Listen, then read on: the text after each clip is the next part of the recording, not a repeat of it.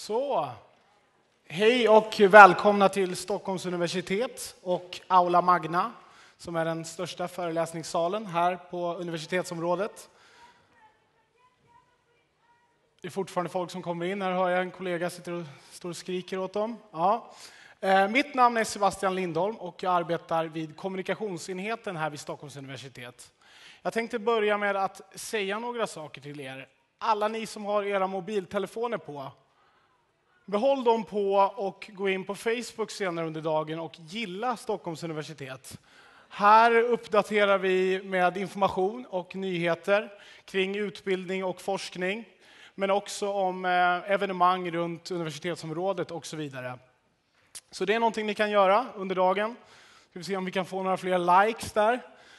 Eh, vi har även en direktsändning av den här dagen och en fotograf som heter Eva som står och fotar mig här. Eh, så om ni får en kameralins eh, i ansiktet, var inte rädda. Det är bara en liten bild som kan komma upp på vår webbplats. www.su.se senare under dagen. Jag ska också säga något kort om välkomstdagen. Eh, för ungefär tre år sedan då började jag en mastersutbildning här vid Stockholms universitet och satt här i publiken och lyssnade på välkomstdagen. Och för mig var det en jättebra upplevelse för att eh, inte, inte bara fick man träffa en massa nya ansikten och eh, kurskamrater och så vidare, man fick även väldigt mycket bra information om just universitetet och alla tillgångar som finns här som man kan ha hjälp av vid sina studier. Så bra att ni är här, alla ni som har kommit. Eh, och så får vi hoppas att alla andra kollar hemma på webben. Då. Eh, vi inleder med att hälsa Kåre Bremer välkommen. Kåre är rektor vid Stockholms universitet och professor i botanik. Välkommen upp Kåre.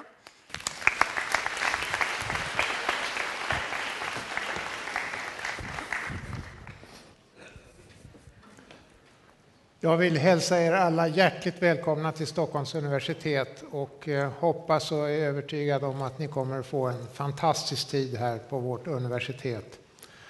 Vi vill betrakta Stockholms universitet som ett modernt universitet. Det etablerades faktiskt eh, som ett eh, modernt alternativ till de gamla universiteten år 1878. Ett privat initiativ var det då. Stockholms högskola skulle hållas öppet för alla som var intresserade, skulle hålla högsta tänkbara kvalitet. Och högskolan utvecklades ju väldigt starkt under 1900-talet. 1960 omvandlades den till ett statligt universitet. Då fanns den inne i Vasastan och då kom man också underfund med att eh, det skulle inte gå att eh, få plats med Stockholms universitet inne i Vasastan. Så beslutades också samtidigt att eh, universitetet skulle flytta hit ut till Frescati. En, en flyttning som egentligen inte riktigt är avslutad. Vi har fortfarande några verksamheter som vi ska eh, få hit ut till Frescati innan, innan det är, är riktigt komplett här. Vi ser oss som ett modernt alternativ, Eh, ett öppet universitet med de stora fördelar som det finns med att ligga i huvudstaden också, med eh, alla de relationer och kontakter och möjligheter vi har med näringsliv och offentliga organisationer som finns i Stockholm och som jag hoppas att ni också då kommer att få glädje av. Stockholms universitet är också ett väldigt starkt forskningsuniversitet. Vi har eh, mycket framstående internationell forskning inom naturvetenskaperna, humaniora och samhällsvetenskap. Och ni kommer att möta mycket av forskningen under er tid på universitetet i utbildningen. Ni kommer träffa många forskare, träffa professorer. Det är en styrka också som vi ser med utbildningarna vid Stockholms universitet. Ni kommer inte alltid vara nöjda med oss. Ni kommer att tycka att det skulle behövas mera seminarier, gruppövningar och föreläsningar. Som ni vet så är, eh, är vi begränsade av de ekonomiska förutsättningar som staten lägger på oss och hur mycket, hur mycket som var och en av er får kosta enligt statsmakterna. Och det sätter vissa begränsningar i undervisningstiden. Den här tiden som ni, ska, som ni påbörjar nu eh, de flesta av er ska väl tillbringa ett par år här på Stockholms universitet. Det är en väldigt betydelsefull tid i livet. Ni kommer att träffa många nya vänner, kanske också många av er, er framtida livskamrat. Och jag hoppas och tror att ni kommer att se tillbaka på tiden vid Stockholms universitet som en fantastisk tid i ert liv. Och när ni har lämnat universitetet och är färdiga med er examen, att ni tänker väl på ert gamla lärosäte och rekommenderar det till andra. Det finns eh, väldigt många framstående personer i det svenska samhället som faktiskt har läst på Stockholms universitet och som är våra alumner. Vi kan ta bara statsministern till exempel, eller eh, vd för SE-banken Annika Falkengren eller nobelpristagaren Thomas Tranströmer. Läser man vid Stockholms universitet kan man bli både statsminister och bankdirektör och poet. Och vi kommer att träffa en av våra eh, kända och väl eh, framstående alumner här om en liten stund.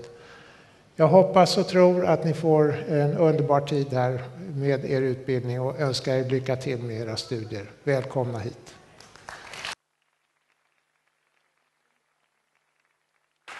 Tackar Kåre. Tack så mycket Kåre.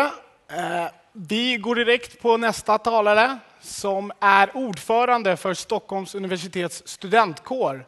Välkommen upp på scen Livia Ginters.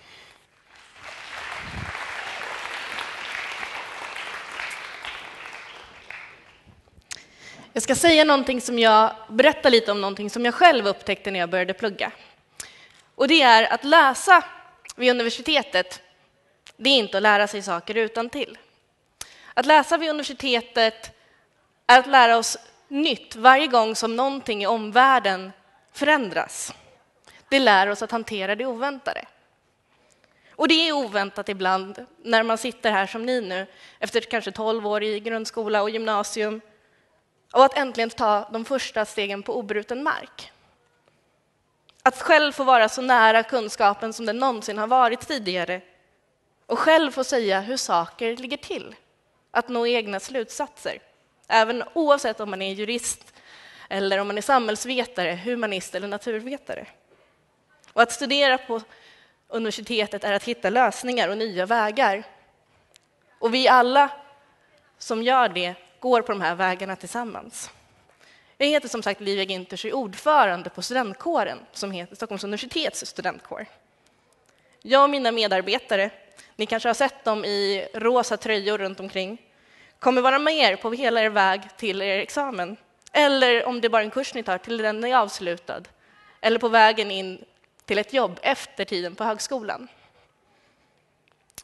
Men som sagt, det är ju oväntat. Och varför gick jag med i kåren överhuvudtaget? Jo, för att även om det är ingenting som har berikat mitt liv så mycket som mina studier på universitetet så är det nog ingenting som har varit en så stor utmaning. Särskilt om man har precis flyttat hemifrån, man letar boende eh, i en stad som har kanske 12 000 studentlägenheter men 80 000 studenter. Då blir det lite svårt.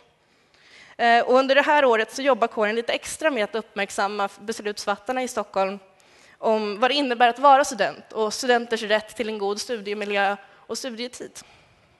Och en god hälsa, inte minst. Jag återgår till mina tankar om vad det handlar om att vara student vid universitetet.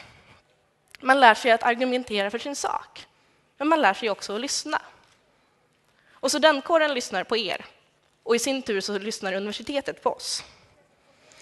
Vi tror att eh, delaktighet i ens utbildning är det som ger en riktigt, riktigt bra utbildning. Och vi studenter har faktiskt rätt att närvara. Vid alla institutionsstyrelser, alla fakultetsnämnder, till och med vid rektors bord får vi vara med och utforma hur vår tid ska se ut här på universitetet. Vi på studentkåren organiserar det här arbetet och formar strategier tillsammans med er studenter om 2000-talets utbildning tillsammans med universitetet. Och idag är som sagt en av era första dagar på er utbildning. När ni kommer igång med era studier och hittar någonting som skulle kunna gå ännu bättre, tveka inte att ta kontakt med oss och prata med våra studiebevakare och se hur du kan verkligen göra någonting som får en effekt på hur det, din tid här kommer vara. Men att vara student, kom jag på, är inte helt och hållet bara att studera. Det handlar ganska mycket om också om att ha kul. Så se till att under er tid här att ni tar en öl på någon av studentpubbarna, att ni lär er, tar chansen att lära er konversera på ett nytt språk utan att behöva examineras för det, att ni träffar nya vänner, att eh, ta del av det campusliv som faktiskt finns här ute på universitetet. Några smakprov kan ni faktiskt redan testa på idag. Eh, Samhällsvetenskapliga föreningen, en fakultetsförening, eh, har en liten pub med tacos för väldigt, väldigt billig penning klockan halv fem. Eh, ni, imorgon kommer ni kunna möta några av våra andra föreningar eh, som heter bland annat eh, Rainbows ta en city tour i Stockholm och se eh, på det queera Stockholm. Ni kanske också vill titta lite närmare på naturen runt omkring på Frescati och en annan förening vid namn Symbios kommer också ha ett litet evenemang. Och så kommer det se ut den här veckan. Många av de olika servicer som vi erbjuder kommer finnas till hands och på plats.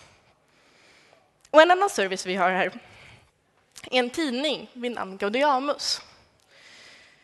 Den kommer ut till alla studenter och berättar vad som är liksom aktiv, aktuellt just nu för, för er, eh, med lite information också från oss på kåren. Den är döpt efter en gammal studentvisa eh, från 1200-talet, den här Gaudiamus. Och den är skriven på latin. Inte tidningen, utan låten. Och den går faktiskt så, första versen, om man skulle översätta den. Låt oss ha kul nu när vi är unga. För snart så kommer vi ändå bli tvungna att arbeta och sen så ska vi dö. Så oavsett om du pluggar här för att stilla din nyfikenhet, för att få en examen som tar dig till ett eh, jobb framöver eller för att vidare forska. Oavsett vad du vill, se till att ha kul på vägen. Och under hela vår utbildning och så finns studentkåren vid er sida. Med det vill jag säga välkommen till Stockholms universitet. Tack!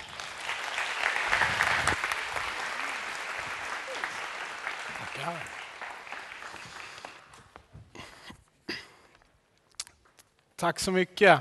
Jag tänkte säga lite saker om Stockholms universitets studentkår också. Eh, efter att jag hade pluggat det första året på den tvååriga mastersutbildning som jag började läsa här vid Stockholms universitet så kände jag att jag ville göra någonting vid sidan om eh, studierna. Eh, jag sökte en tjänst, eller en, jag sökte till att bli förtroendevald vid Stockholms universitets studentkår och fick chansen att arbeta på studentkåren i Nobelhuset som ligger precis eh, vid tunnelbane ned och uppgången. Och det var verkligen en super, ett superroligt år och väldigt roligt att få träffa så många intressanta och roliga människor och uppleva så många roliga händelser. Så oavsett om ni bara vill ha billigare mat här på universitetsområdet, billigare kaffe, åka billigt i SL-trafiken, eller billigare ska jag säga, för billigt är det ju inte. Men eh, då tycker jag att ni ska gå med i studentkåren. Och vill ni göra allting annat, uppleva allting annat, alla fester, allting roligt, möta så mycket människor, då är det också en anledning till att gå med i studentkåren. Så bli medlem. Jag tror det kostar 100 kronor i år. Det sparar man lätt in om man dricker mycket kaffe. Eh, nu ska vi hälsa en alumn välkommen upp på scen. En alumn är ett begrepp på en tidigare student. Och denna student är säkerligen känd för många av er. Hon har studerat, och nu måste jag läsa lite till här, för hon har studerat mycket. Hon har studerat statsvetenskap, internationella relationer, nationalekonomi och kreativt skrivande här vid Stockholms universitet. Idag är hon författare, journalist, programledare i både radio och tv, bloggare, kolumnist och föreläsare. Många järn i elden. Välkommen upp på scen och välkommen tillbaka till Stockholms universitet, Alexandra Pascalido. Tack så mycket. Åh, gud vad roligt att vara här hörni. Fantastiskt och jätteläskigt också. Det är en väldigt stor dag för väldigt många av oss här idag. För mig är det en otrolig ära att få stå här. Jag vet inte om ni kan känna det.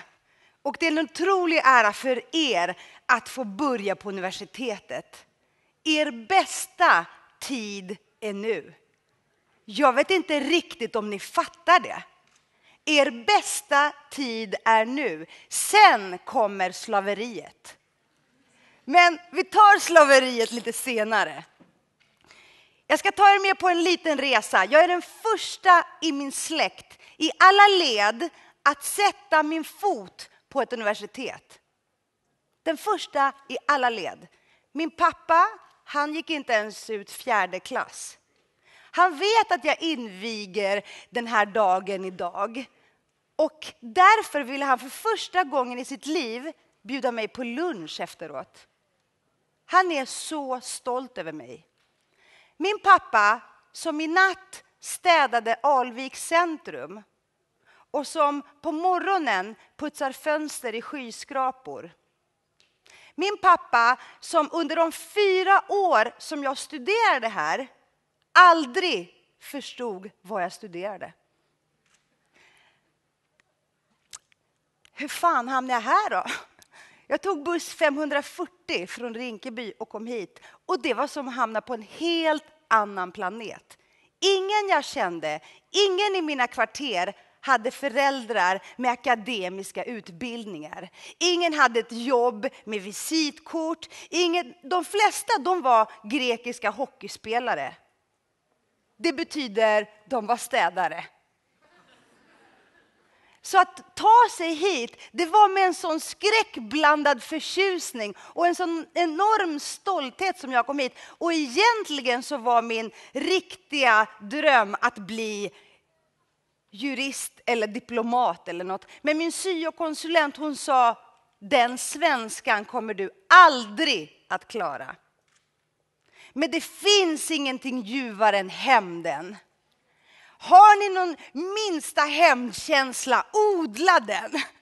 Odla den för att motbevisa alla olyckskorpar och alla auktoriteter, oavsett om det är era föräldrar, era eh, vuxna kompisar, släktingar eller lärare som inte trodde på er.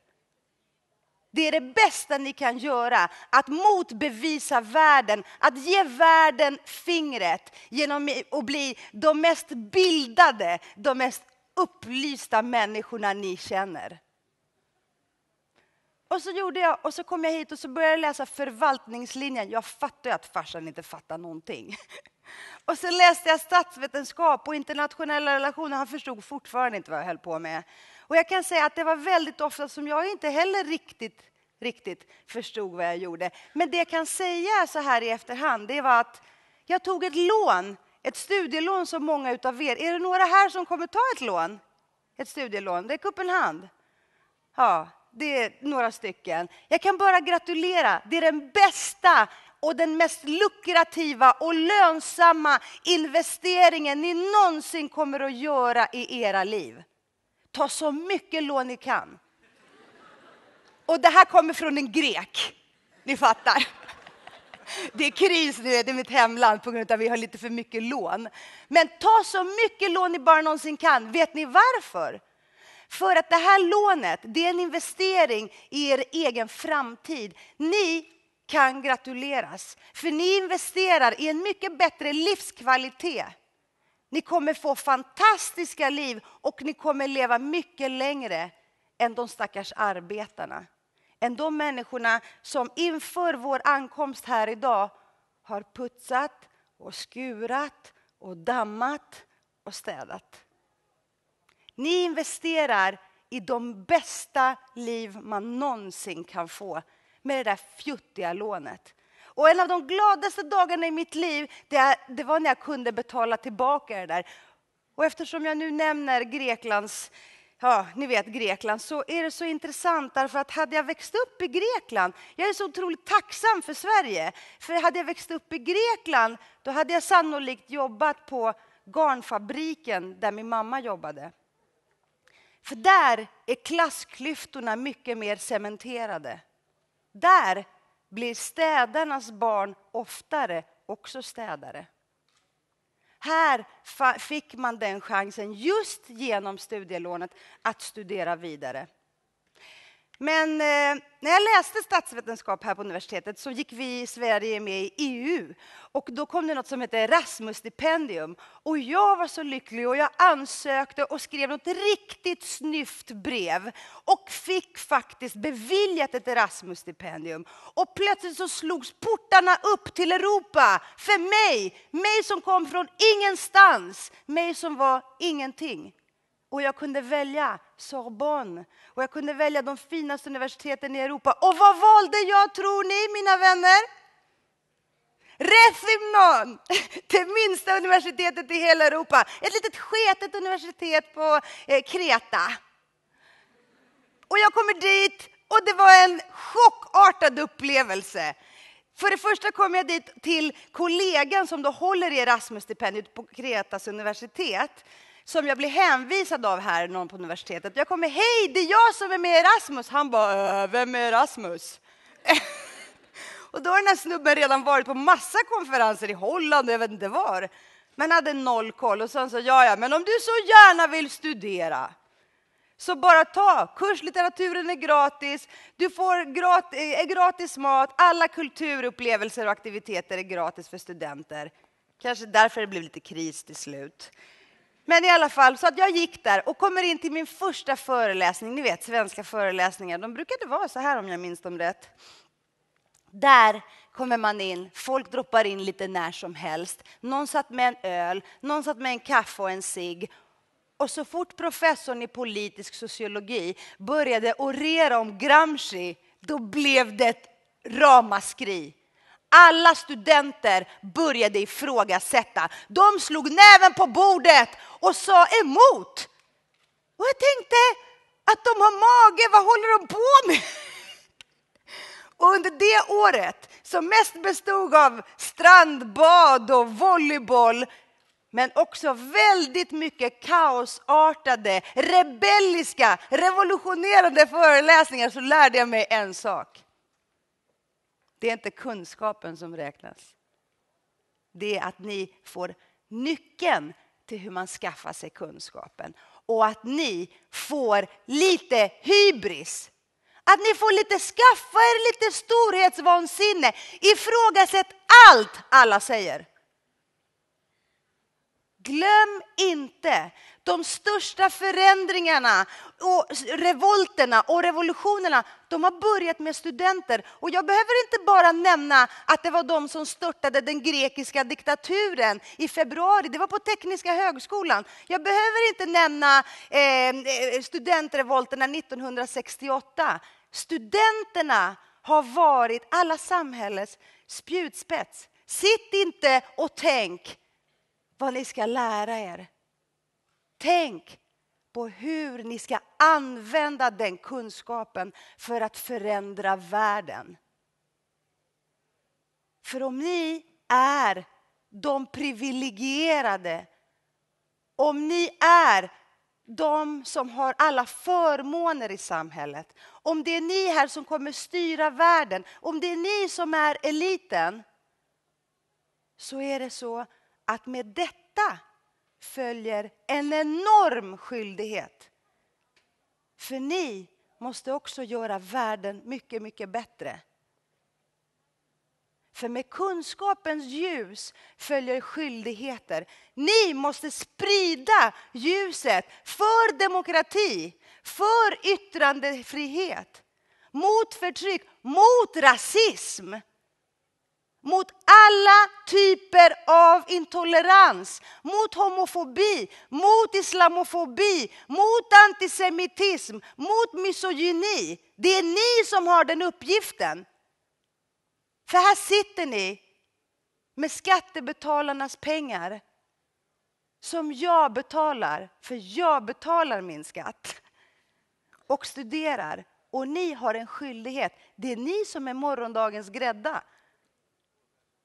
Ni har en skyldighet. Så sträck på er och gör det allra, allra bästa av det ansvaret och den skyldigheten.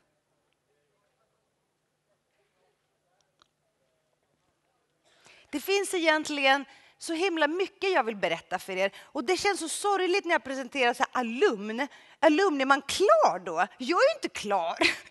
Jag eh, är en sån här jättejobbig människa som alltid ringer tillbaka till universitetet och frågar så här, hej, har ni någon restplats?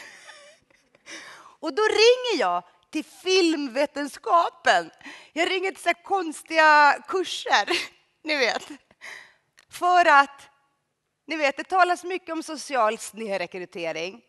Och då är det så här, när man tittar på arbetarnas barn, de som precis som jag växer upp i familjer utan akademisk tradition, så är det så här också att man väljer någonting som ska ge en jobb. Något som kan resultera i ett yrke, något som är väldigt konkret. Medan överklassens barn, eller de här som akademikerföräldrar, som det bara är att gratulera, de väljer lite skönare, lite roligare utbildningar. Ni vet, det är de som går på danshögskolor, det är de som går på konstakademier, det är de som väljer jättemycket flummiga kurser som jag inte ens ska nämna namnet på. Och det är helt fantastiskt att man kan unna sig detta. För det är en ynnest att få läsa sånt som bara är lustfyllt.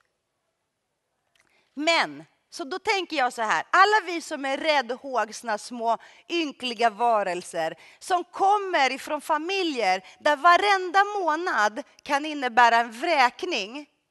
Där varenda månad, de sista dagarna i månaden, så är man van vid att morsan hon drygar ut yoghurten med vatten. Eller att hon tar det torra brödet och steker upp det så att det blir lite mjukare.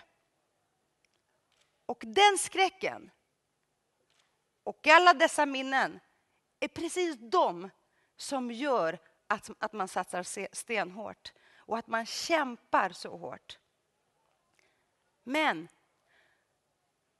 då kan man göra så här. Man kan plugga klart, läs klart någonting och gör sen som jag. Kom tillbaka till universitetet.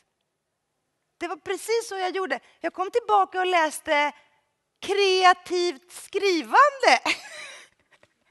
Och då hade jag redan skrivit fem böcker och tre antologier och en miljon artiklar. Och det är precis så, nu kan jag också unna mig att läsa de här små skumma kurserna som man inte med säkerhet blir någonting på, men bara för att det är roligt. Jag ringde en kompis nu när jag skulle komma hit. Jag var så nervös. Jag tycker det är så läskigt att tala för er. Och jag ringde en kompis och han är i Indien och sa säg något om kunskap. För du vet, det finns ju en miljon citat om bildning och utbildning och kunskap. Och jag vill inte heller stå här och vara lite sådär nationalistisk, narcissistisk och bara få så här grekisk hybris och säga gissa var universiteten kommer ifrån från början. För det är klart att ni vet vilket land. Va? Platons akademi, har ni, har ni någonsin hört talas om det? Jepp, ja, eller hur? Det är bara, ni vet, landet som födde allt. Jag nämner inte namnet. Så jag vill inte prata om det jättelänge, för då skulle ni säga nej, inte nu igen. Så jag ringde en polare som är i Indien. Jag bara, tjena, säg något vettigt. Jag ska bara säga en sak, för eh, du har inte råd att ringa mig, sa han. Det här samtalet är dyrt. Han sa så här, en kung är bara respekterad i sitt eget land av sina undersåtar.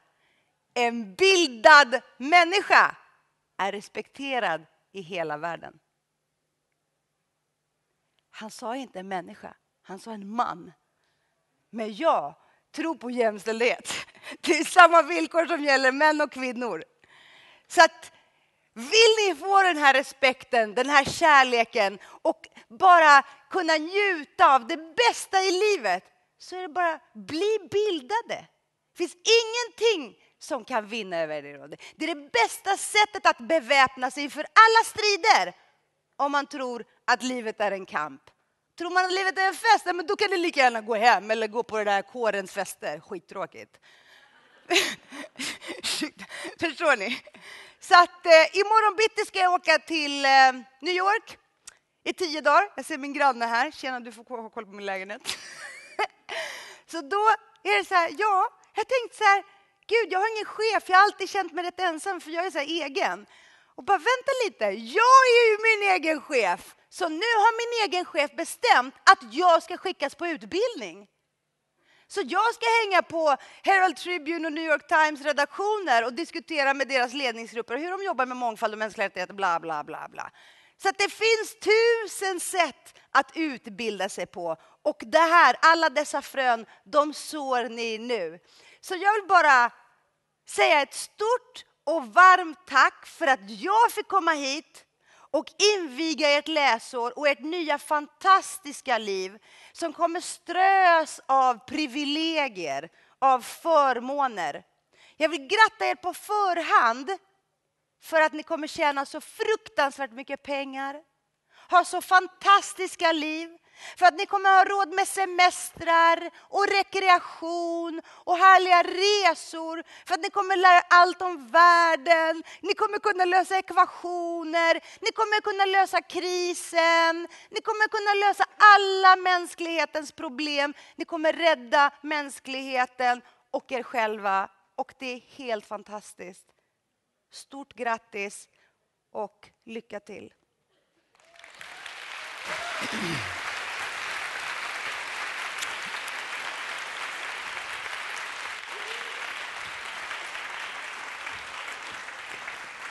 Ja.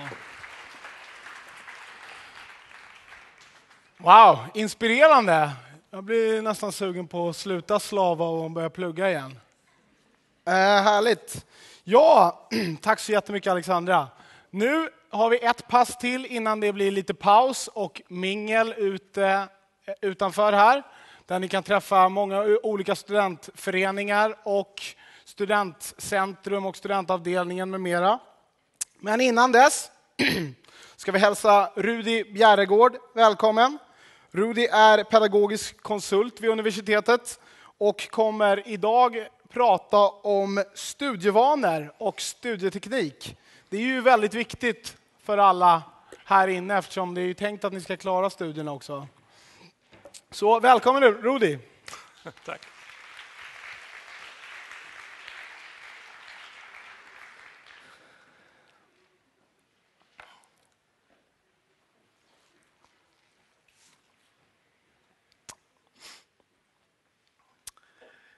Ja, ni hör mig. Jag väntar på Powerpoint. Jag vet inte om jag ska sätta igång eller inte.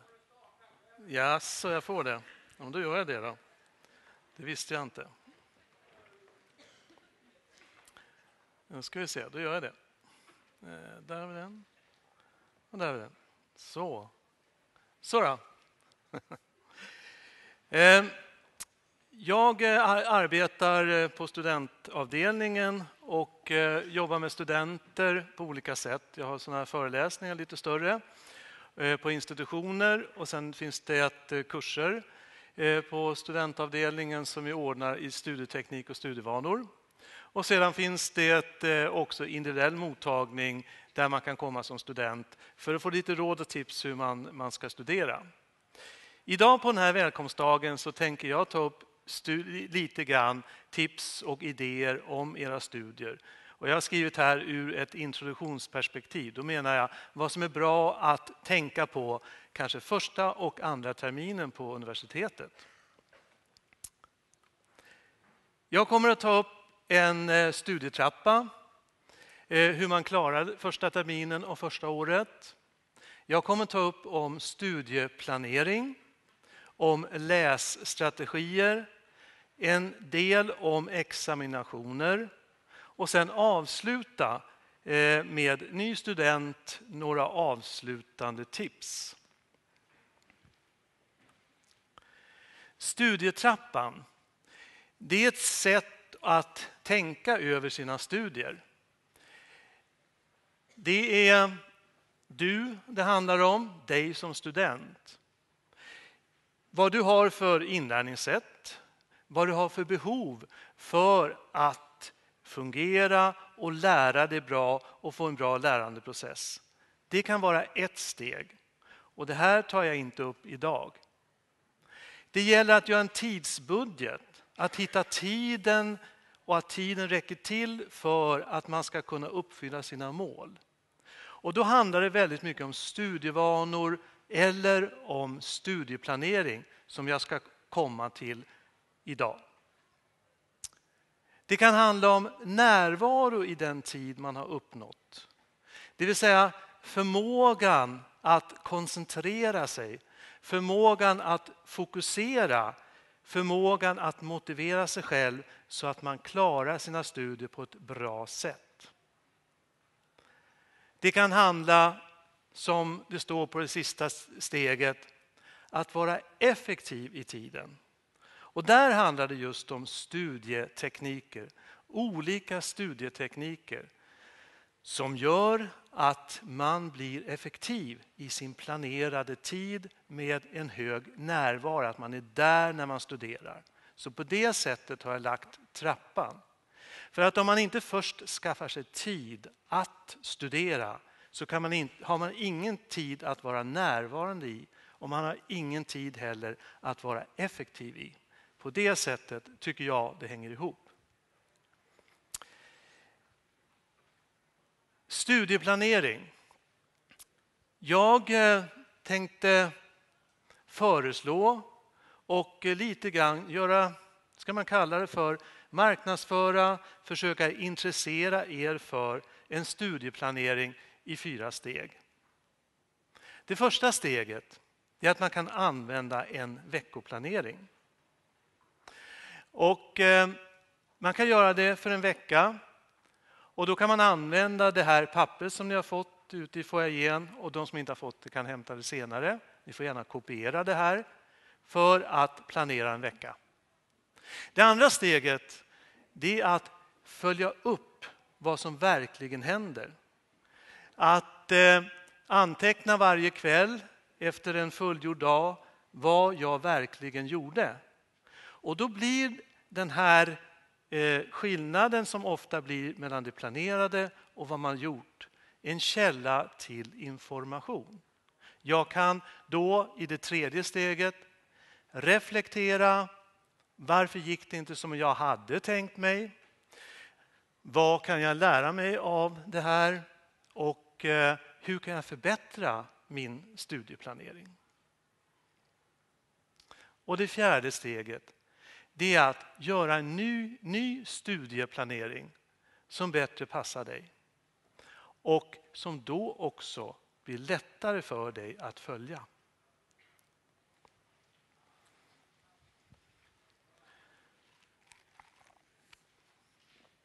Varför är det då bra att planera sina studier? Många har hört det här förut. Man får överblick och då tänkte jag också säga att men det är ändå viktigt att ta upp en del saker och poängtera dem.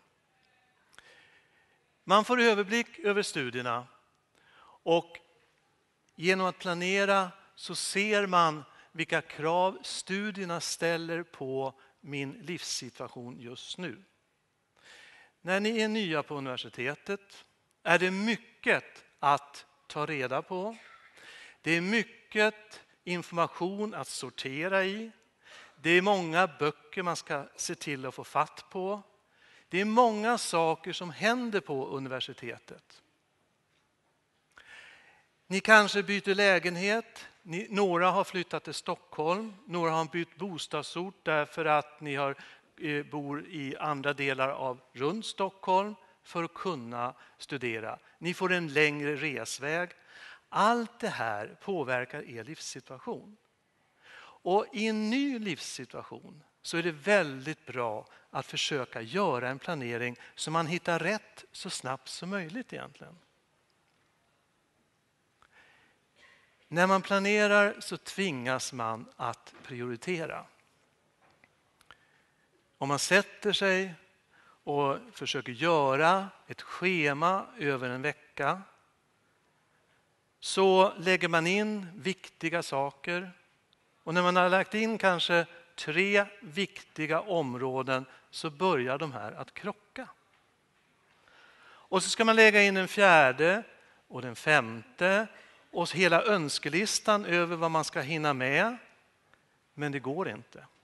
Alltså tvingas man att prioritera för att klara sina studier och hinna med sitt övriga liv också. På webbsidan på studieverkstan så finns det en eh, liten eh, trevlig historia om just prioritering som ni gärna får titta på. Jag återkommer till webbadresserna sist i mitt, mitt föredrag här. Målinriktad och studerar effektivare, det gör man också. Och eh, det kan man bara säga. Men de flesta eh, undersökningar, när man pratar med studenter, intervjuar dem, så visar det sig att om man har någon form av planering så underlättar det att vara målinriktad och det underlättar också att studera effektivare. Man får tid för både studier och sig själv och det här tycker jag är en viktig punkt. Att när man gör en vettig, balanserad studieplanering så är det viktigt att det i den finns tid för till exempel träning, umgänge och sådana saker. Och eh, om man gör en planering som både innehåller tid för studierna och för ens behov som människa så är det det allra bästa. Sen finns det två punkter till här som heter Det ger självrespekt och självförtroende att planera. Det ger respekt från omvärlden att vara planerad. Varför ger det då självrespekt att planera? Jo, därför när man sätter sig ner och man kanske använder den här lappen och kanske har kopierat den och ska försöka planera för den närmaste veckan. Så jobbar man med det här och när man väl har fått ihop sin planering så har man gjort en slags prioritering och överenskommelse med sig själv. Och då har man skapat en större respekt för mina mål, för mina egna mål och för varför jag vill plugga på universitetet. Och jag tror också att man får till vissa delar ett starkare självförtroende om man ser att det är möjligt, att det går att klara studierna om jag prioriterar på ett smart och klokt sätt. Respekt från omvärlden. Ja, om jag är planerad, om jag har planerat i det här schemat så blir det en överenskommelse med mig själv som är viktigt. Det är viktigt för mig därför att jag vill nå mina mål. Många studenter av er, också av er, har ju mycket annat ni ska göra. En del kommer att ha extra jobb. Vad är respekten då? Det är att säga till arbetsgivaren, jag har sett i min planering och det är jätteviktigt för mig att klara av studierna den här första terminen, vilket det är. Och nu om du ska begära att jag ska jobba övertid eller jobba en extra dag, då får du säga till en, en vecka i förväg, annars hinner inte jag med mina studier. Det är kanske vänner som eh, inte studerar just nu, som gärna vill ha med en ut på stan och gör trevliga saker tre gånger i veckan som vanligt. Och då kanske man drar ner det till två. Därför att jag är planerad, jag vet att jag behöver den här tiden. Därför säger jag nej till en gång i veckan. Men det blir dubbelt så trevligt på fredagar när jag går ut med dem istället. Så att på det sättet så skaffar man sig respekt från omgivningen. För det sociala trycket är en väldigt stor källa till att studenter bryter med sin planering och inte gör det man tänkt sig göra. Mindre stress och mera tid. Mer tid, mindre stress. Så jag kan säga, när man gör undersökningar av planerade, icke-planerade studentgrupper så blir det det här som blir resultatet. Man blir mindre stressad av någon form av planering. Nu tänker jag med det här veckoschemat som utgångspunkt visa er några exempel på hur det skulle kunna se ut. Här är en student som exempelvis eh, studerar naturvetenskapliga, ett naturvetenskapligt ämne. Vi säger att det är en han. han. Det ser man därför att oftare har naturvetarna och naturvetenskapliga studenter en arbetstid, alltså mer arbetstid på universitetet. De pluggar hela dagarna.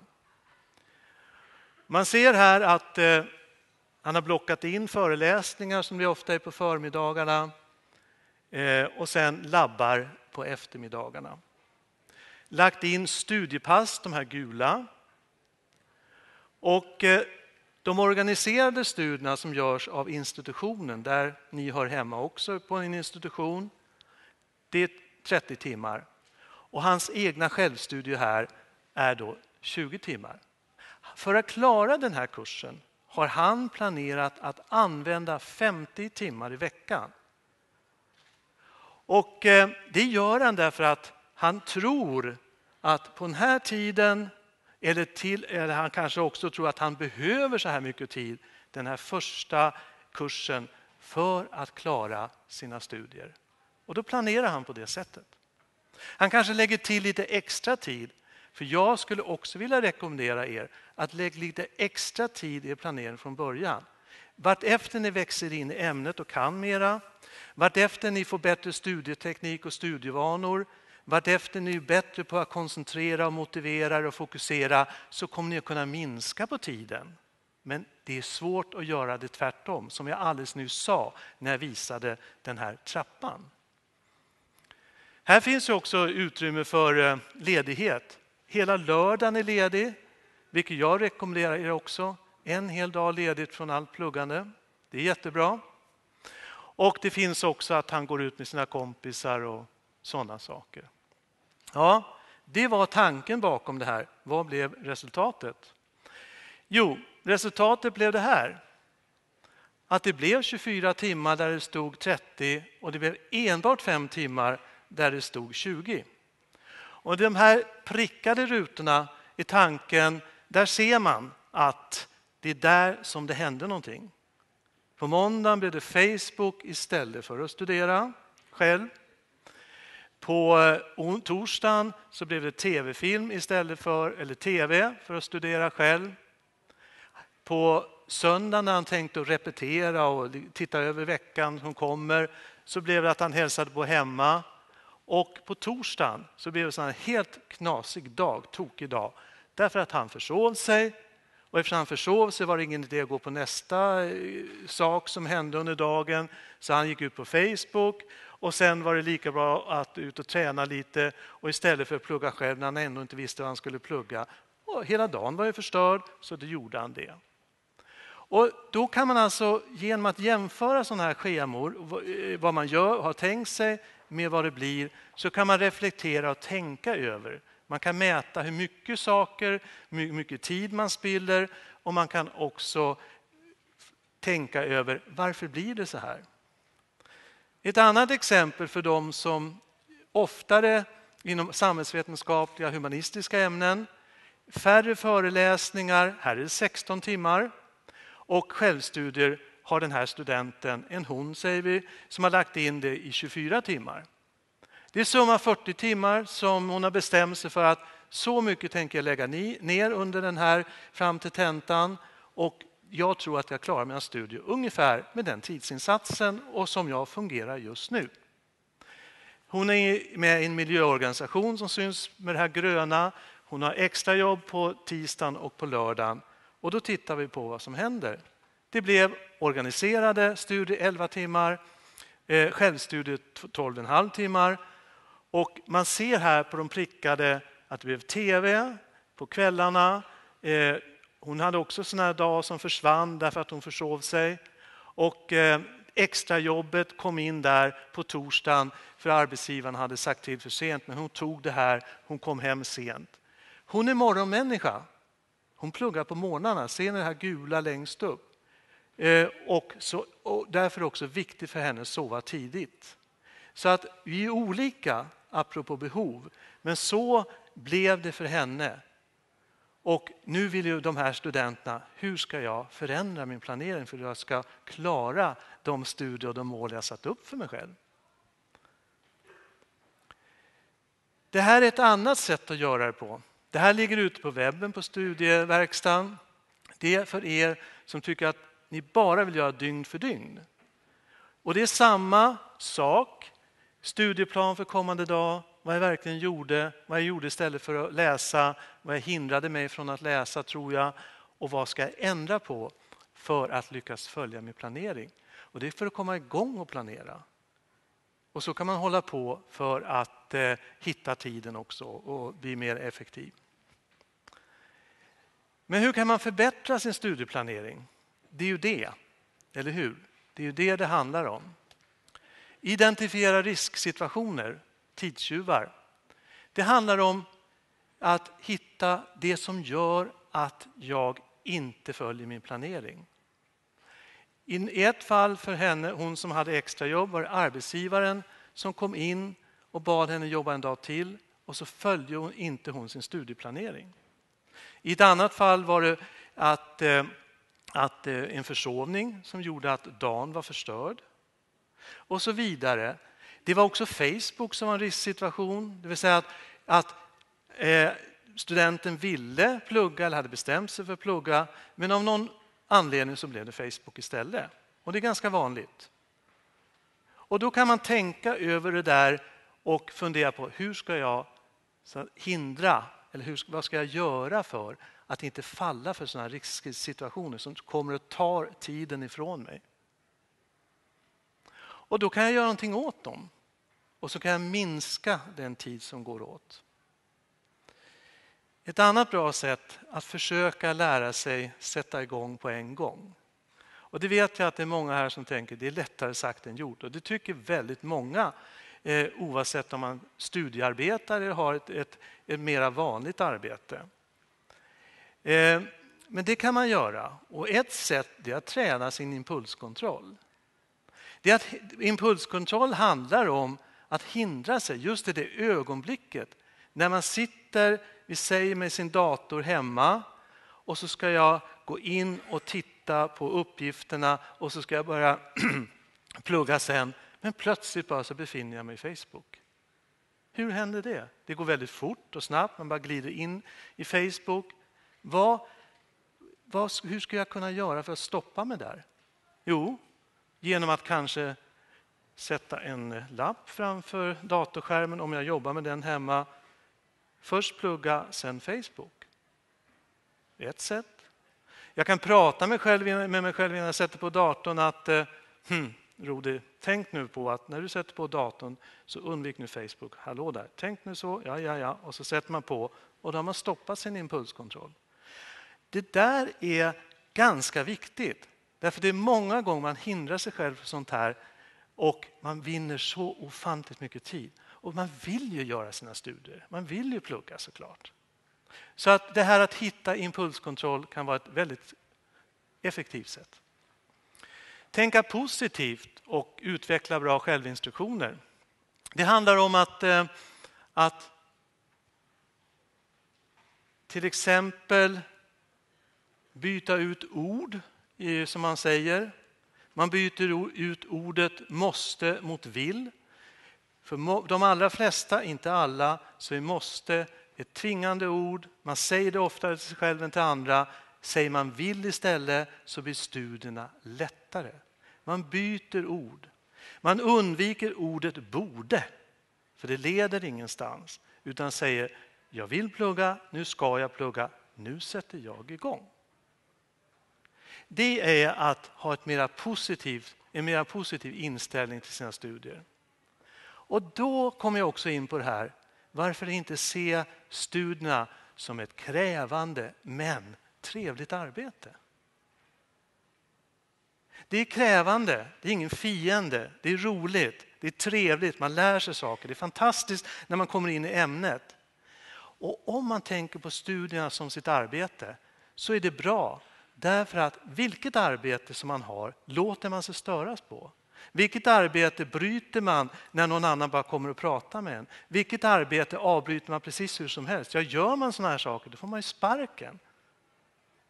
Om man har den tanken, ett trevligt men krävande studiearbete, då är det kanske lättare att planera och ta sina studier på allvar, men också att det är trevligt. Och sen att ni alltid planerar in faktiskt då också eh, tid för dina behov, för era behov. Sömn, ledighet, avslappning, träning och umgänge. Så att ni fungerar under två år framåt, tre år framåt som välmående och trevliga och balanserade studenter på Stockholms universitet. Och sen kan man göra en ny studieplanering som är balanserad där både du är med som människa och studierna med som din viktiga uppgift. Jag ska gå vidare till lässtrategier, men Jag vill nu verkligen att ni vänder er till varandra, två och två eller tre och tre och pratar om och presenterar i tre, tre minuter vad har ni upplevt? Vad tyckte ni om det här med studieplanering? Jag vill att ni ska prata lite och det är också ni har suttit här ett tag. Så gör det nu i tre minuter så återkommer jag. Varsågoda.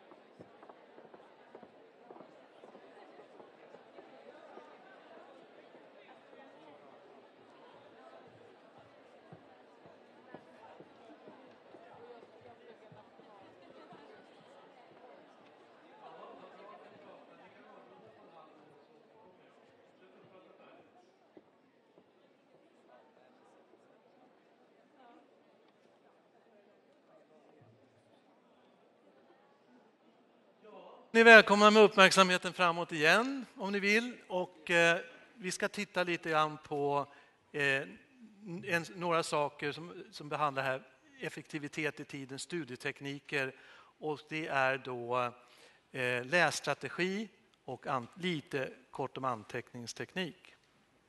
Och när det gäller lässtrategier när man har mycket material på universitetet så, så finns det några förslag jag har. Och eh, jag har förslaget som ni ser framför er. Vad gör jag före föreläsningen, seminariet? Vad kan jag under föreläsningen, seminariet? Och vad gör jag efter föreläsningen och seminariet? Jag utgår så att säga från undervisningen kopplat till vad ni gör före och efter. Före eh, eh, föreläsningar och seminarier så är det viktigt, och jag menar faktiskt att ni alltid bör, och jag skulle vilja säga att ni ska faktiskt. Jag skulle vilja att ni gjorde så. Att ni alltid gör någon form av förberedelse. Översiktlig förberedelse. Och det kan man göra på lite olika sätt. Man kan göra en översiktsläsning av en bok. Den här boken, Vår ekonomi, som en del som, som läser olika ämnen men också vill titta lite på samhällsekonomi eh, kan vara ett sådant exempel. Man tittar på baksidan, innehållsförteckningen i boken och sedan tittar man lite på de kapitelrubriker som jag har fått i mina läsanvisningar. Och sen letar jag efter om det finns någon strukturering eller studieguide i den här boken. De amerikanska engelska böckerna är ofta väldigt bra på det. Där står det vad man ska lära sig ofta och sen står det sen nu har du lärt dig. Och då kan man titta på det först. Därför det är summeringen då som man tittar på. Här är en bra pedagogisk bok för här finns en studiehandledning på slutet. Och om man inte ögnar igenom och översiktsläser boken så missar man den. Här står vad varje kapitel handlar om och då får man sin första ingång innan föreläsningen och läser det och sen kommer man på föreläsning och lyssnar på ett mycket, mycket bättre sätt. Det här går väldigt fort. Det tar fem till kanske 20 minuter att göra en sån här översiktsläsning. Och det ger stark effekt när man sen kommer på föreläsningen och eh, ska sitta och lyssna och anteckna. En fördjupad översiktsläsning är att man gör först den här första som jag nämnde, översiktliga och sedan så går man in på kapitlet eller kapitlen man ska jobba med eller läsa. Och på samma sätt där, man tittar på rubriker, man tittar om det är sammanfattningar, man läser första och, andra styck, första och sista stycket. Man läser först det som ger en helhet. För metoden i det akademiska läsandet och studerandet är nästan alltid att närma sig materialet översiktligt från helheten och sen borrar man sig ner i delarna inom sitt ämne och i böckerna. Man kanske gör en struktur av eh, boken med, eh, om jag tycker det är ganska kul att rita upp det som en mindmap. Jag kanske också gör så att jag sammanfattar för mig själv, skriver upp eller på dator sammanfattar vad boken innehåller och tänker lite kring den. Och kanske, det kanske finns instuderingsfrågor, då funderar jag över dem. Det här eh, sättet, en fördjupad översiktsläsning, det, det kan ta en timme eller två timmar innan föreläsningen. Man läser inte allt, men man förstår mycket, mycket mer. Man börjar förstå vad den här boken handlar om. Och då är man ännu bättre förberedd till föreläsningen. De som är snabba läsare kan skumläsa, det vill säga läsa fort utan att fastna på i detaljer för att få en överblick över boken, över kapitlerna. Man kan göra om rubriker på kapitel eller inne i stycken till frågor. Det kan man alltid tvista till och se om man hittar var någonstans man tror svaret är någonstans utan att läsa allt. Man kan eh, läsa, och bör göra det tycker jag, sammanfattningar först, inledningar sen och vänta kanske med att läsa alltihopa. Och hur mycket man då förbereder sig för en sån här bok, det beror ju på livssituationen. Om, om det är så att jag inte hinner, så gör alltid en översiktsläsning. Hinner jag mer, gör en fördjupad översiktsläsning. Och då är du mycket, mycket mer förberedd på inför föreläsningen. Men undvik att läsa från perm till perm och undvik att lära dig allt. Det är inte syftet eller meningen när du läser, för det hinner du inte riktigt på det sättet. Det är alltså ett, att bryta högstadieläsandet från perm till perm. Det är ganska bra förslag inför högskolestudierna, speciellt på första och andra terminen så man inte fastnar. Sedan under föreläsningen så hoppas man att läraren, och så är det ofta för er som är på grundutbildningen inom universitetet. Då hoppas man att läraren följer ungefär den här föreläsningsplanen och det som man ska berätta, och en guide i kunskapen såklart. Oftast är det så, inte alltid, men oftast är det så. Och då kommer man in på det här med anteckningar. Och de flesta handantecknar fortfarande pappers, i papper. Och eh, då finns det att göra mindmap. Det är för de som är visuella, som tycker om att strukturera bilder, former och på andra sätt. Som gör att man ser saker och ting framför sig. Man kan, man kan summera och man kan eh, jobba på det sättet. Ett annat eh, väldigt eh, enkelt sätt att jobba med anteckningar det är man har sitt kollegieblock så, som, som jag har här till exempel. Helst rutat bara eller varken eller. Men att man gör en, en delning av sidan på det här sättet. Här på det här, den delen, där antecknar man. På den här delen kommentarer, frågetecken, kompletteringar eh, och så vidare. Och så använder man utrymmena på det sättet. Och missar man någonting, ja, då kan man hoppa över lite, lämna utrymme där, kan man komplettera sen. Det är ett väldigt enkelt sätt att använda sidan, ett uppslag, för att anteckna. Det kan man utveckla själv och, bygga sina egna former kring. Och det kallas därför divided page. Andra tips det är att man naturligtvis sitter och skriver direkt på datorn, för en del tycker det är väldigt bra. Att man spelar in lär, lära, eh, ursäkta, eh, föreläsningen. Eh, om jag tycker att det är bra, om jag är hörselinriktad i min inlärning och eh, då får jag bara be läraren om tillstånd först. Men att det ger mig mycket för då kan jag spola fram till det viktigaste och så. Och sedan samarbeta eh, som student. Och det väljer man alltid själv om man vill samarbeta eller om man vill vara en konkurrerande student. Men jag tror att man tjänar på att samarbeta och eh, överhuvudtaget. Och man kan samarbeta. En lyssnare som är bra på förstå på det sättet, en annan antecknar. Då byter man kunskap och anteckningar efter föreläsningen.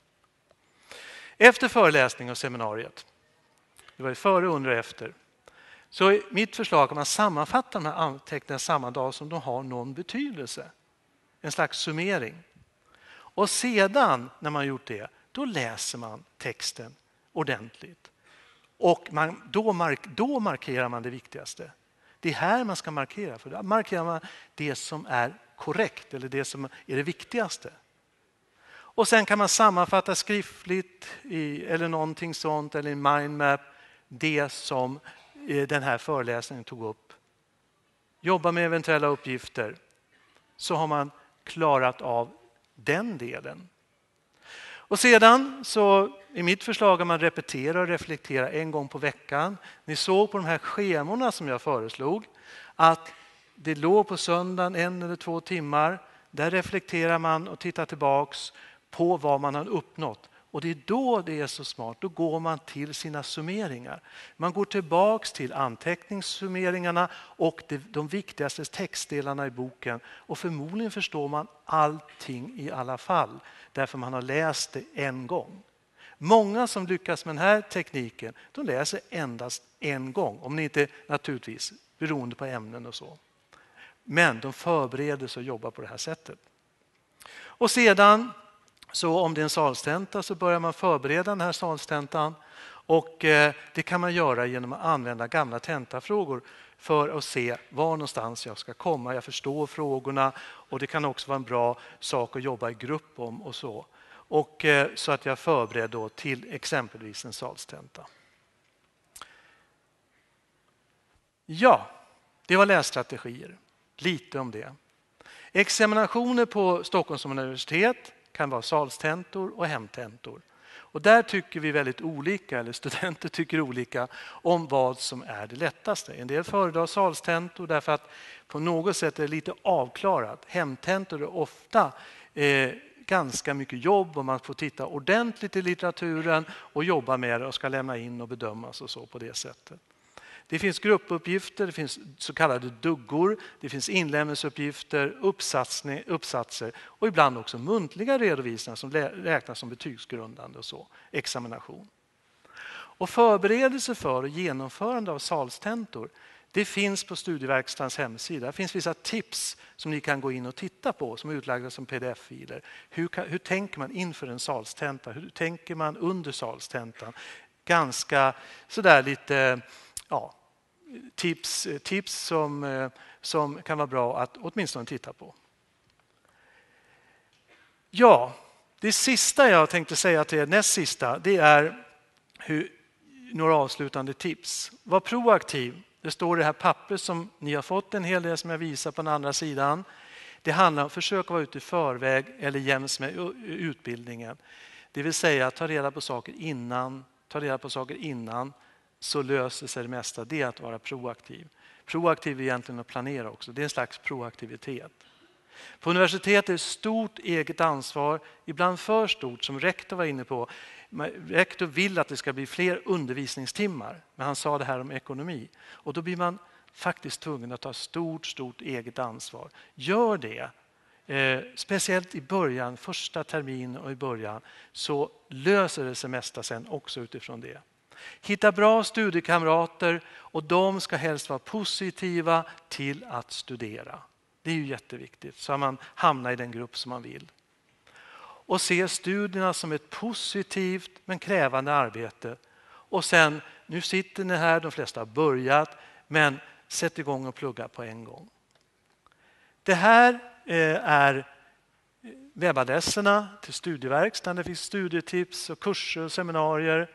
Det finns en språkverkstad där ni kan lämna in när ni börjar få hemuppgifter som kan hjälpa er att titta på hur ni skriver era eh, uppgifter och så småningom uppsatser. Och det finns också nu Academic Writing Service som är en skrivutvecklingsspråkverkstad för de som skriver på engelska.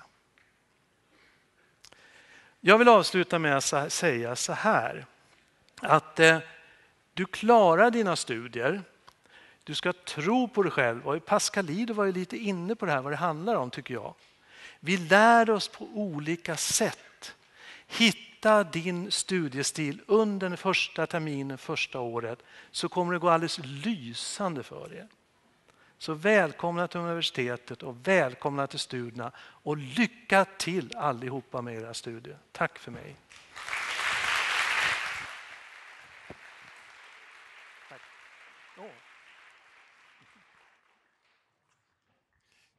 Ja, innan ni eh, reser er upp och börjar gå ut och mingla ska jag säga några korta saker.